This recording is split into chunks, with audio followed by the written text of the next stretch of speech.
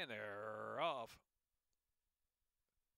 Angelina Star hustles forward to early speed. Here's Be Humble though up to grab it now. So Be Humble's up front and between horses up close to his Cantaguru's racing in third position.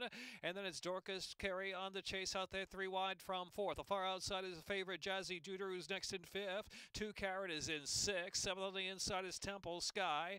And back to Wiggle Room who's dropped back a bit now and passed by a Final Fear. Tis a doozy racing back of the pack as well with Bella Bambina out there three wide and Towson is the last runner. A uh, speed of Be Humble. Be Humble won at 22.17 opening quarter mile. Angelina Star, Jazzy Juder on the move there from second and third. Now a new leader is Angelina Star, who swings for home with Jazzy Juder in second.